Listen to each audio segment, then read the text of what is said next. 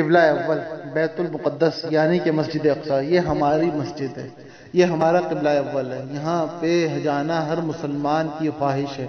हर मुसलमान इस जगह को अपनी आँखों से देखना चाहता है। देखना चाहता है ये अंदर से कैसी नज़र आती है। जो तकदीस, जो तज़ीम हमारे दिलों में बैतुल्ला और मस्जिद नबवी की है, वही तकदीस, वही तज़ीम इस मुबारक मकाम की भी हमारे दिलों के अंदर है। लेकिन इसको हासिल करने के लिए, इस तक पहुँचने के लिए एक बहुत बड़ी दीवार इसराइल और यहूदियों की बनी हुई है। अब इन यहूदियों की और इसराइलियों की इस दीवार को कैसे हटाया जाए? इसके लिए लाजमी बात है, बरसर पैकार आना है, मैदान अमल में उतरना है और जंग व जिदाल से काम लेना है।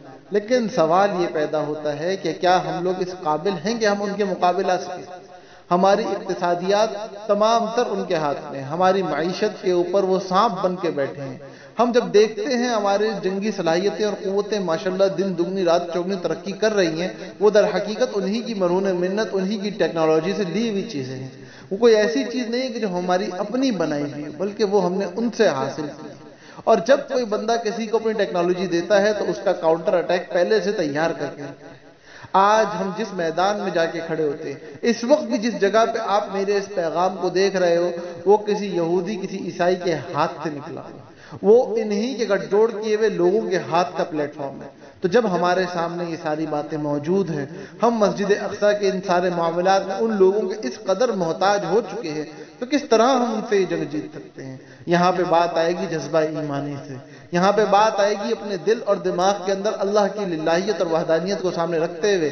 अल्लाह पे तवक्ल करके निकलेंगे, अल्लाह फतह देने वाले। इसमें कोई शक नहीं कि अल्लाह फतह देने वाले लेकिन अल्लाह रब्बुल इज़्ज़त ने अपने नबी सल्लल्लाहु अलैहि वसल्लम को भी ये फरमाया कि अपने लिए तुम ज़्यादा से ज़्यादा जंगी महारतें और जंगी मवाद और मामलात को तैयार करके रखो। जंगी सलाहियतों को ज़्यादा से ज़्यादा हासिल करना यह हमारे दीन की बुनियादी तालीमत में से एक तालीम है। अपनी औलादों को, अपनी नस्लों को इस बात के लिए तैयार करना कि वो दुनिया में जो पहली सब के लोग हैं, उनसे मुकाबले के लिए तैयार हो। हम लोग आज पसमानदा सोच के लोग हैं। हम लोग आज इस सोच के लोग हैं कि किस तरह अपनी टोपी बचा के, अपनी रोटी खा के, अपनी मौत मर जाए। हम लोग उम्मत के लिए नहीं सोचते। हम लोग पूरी दुनिया, पूरे आलम के लिए नहीं सोचते। हमारी सोचें महदूद हो चुकी हैं, हमारी सोचें गुलामाना हो चुकी हैं। अपनी सोच को आज़ाद करने की ज़रूरत है। पूरी दुनिया के लिए सोचने की ज़रूरत है और अपनी नस्लों को पूरी दुनिया के लिए तैयार करने की ज़रूरत है। इस मस्जिद अक्सा के लिए खुदा के लिए जब आवाज़ उठाई जाए उस आवाज़ के साथ फ्रेमवर्क बताया जाए। ये बताया जाए कि एक घर में बैठी माँ अपने बच्चे की कैसी तरबियत करे। ये बताया जाए कि एक हाकिम वक्त क्या किरदार अदा कर सकता है। ये बताया जाए कि एक तालिब इल्म क्या किरदार अदा कर सकता है। ये बताया जाए कि एक मस्जिद का इमाम क्या किरदार अदा कर सकता है।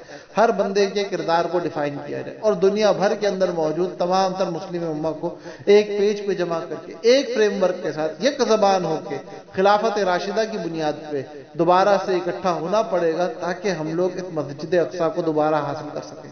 अगर हम यूँ ही टूटे रहे तो हर बंदा अपने मफादात के चक्कर में, अपने मुल्क, अपनी सरहदों की हिफाजत के चक्कर में, पूरी मुस्लिम उम्मा के लिए नुकसान का बायस बनेगा। अल्लाह पाक हमें अकल और शूर के साथ जीने वाला बनाए।